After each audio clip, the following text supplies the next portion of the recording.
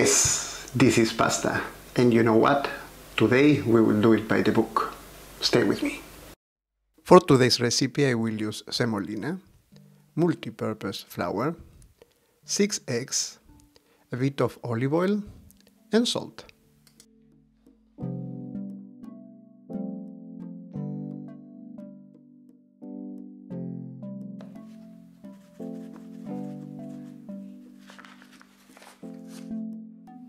I'm splitting here the first four yolks from the egg whites.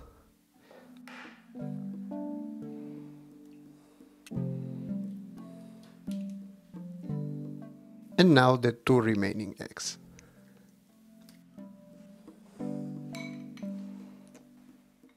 Remember here we need 185 grams of liquid.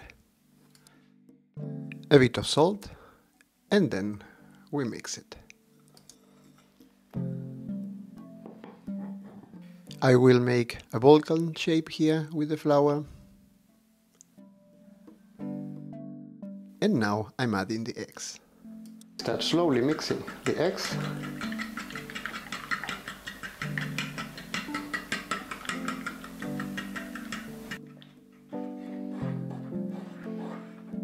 It's important here to add slowly the flour to the eggs and then mix it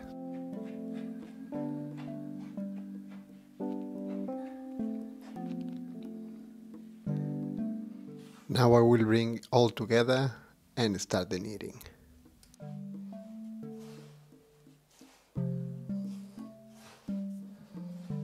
Here's when the things start becoming sticky, but believe me, with a lot of pleasure.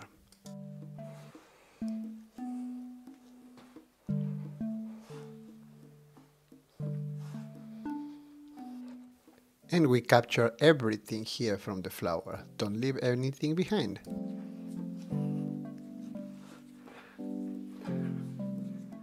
This is for me typically 10 minutes kneading process, but depending on how strong you are can be less or can be a bit more.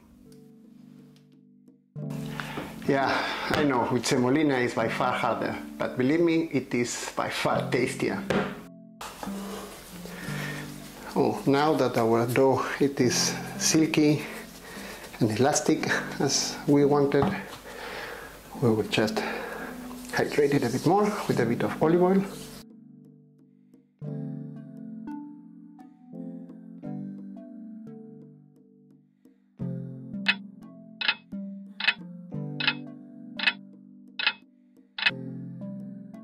Seems to be at the perfect point. I'll cut it in four and cover the rest.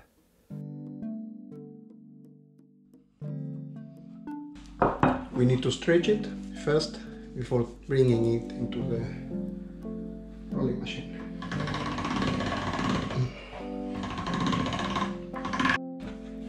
And then we will need to build a rectangle.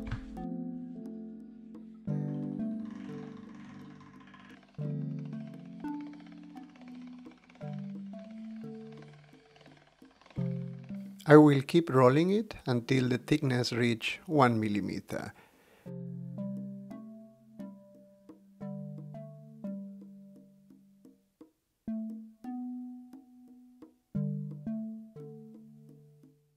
I'm placing them aside, the ones that they are ready, with a bit of semolina in the cutting board that then is not sticking there.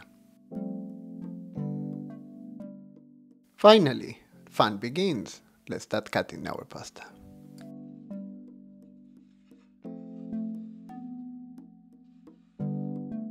Now I'm cutting this one as tagliatelle.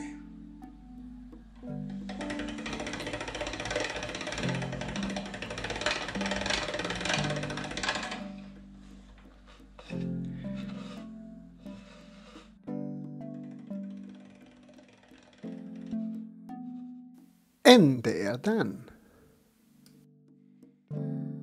And now we will switch to other shapes.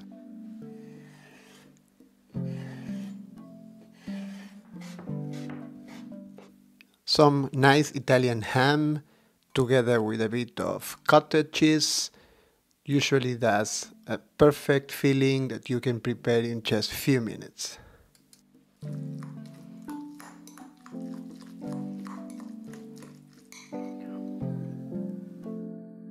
And now we will pair with this some stuffed pasta.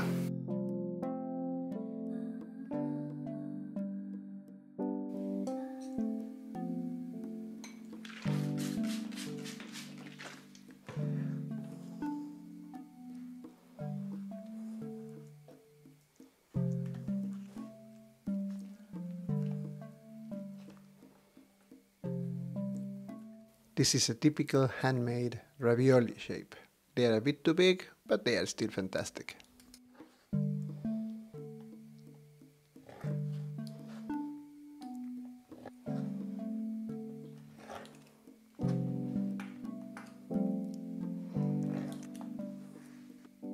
And now the tortellini. I have to say that this is one of my favorite pasta shape because they are easy to make, they are small enough, so boiling time it is something like two minutes, then you put it together with the sauce. So I really love them.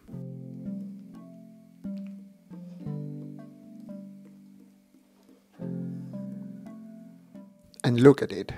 How not to love them.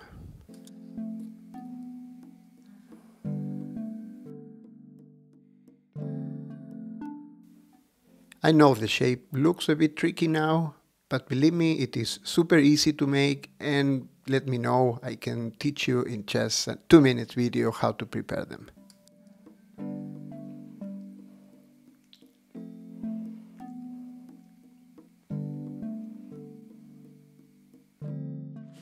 I am spraying a bit of water on top of the dough because here is too dry and it's not helping to close. And now I will prepare the agnolotti.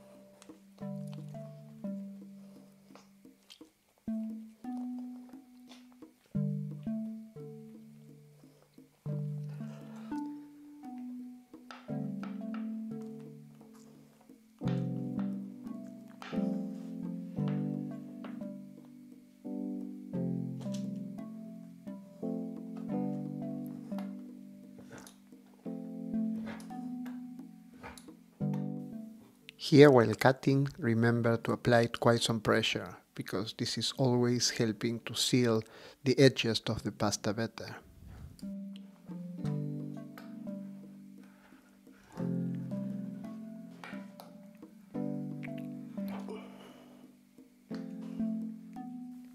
A bit of flour on top, and they are done. And this is how I'm making the dough for most of my pasta. And here I serve it with some ragu sauce, also known as bolognese. What's your favorite pasta? Do you want me to prepare it for you? Let me know in the comment sections and I'll do it. Thanks for watching. Bye.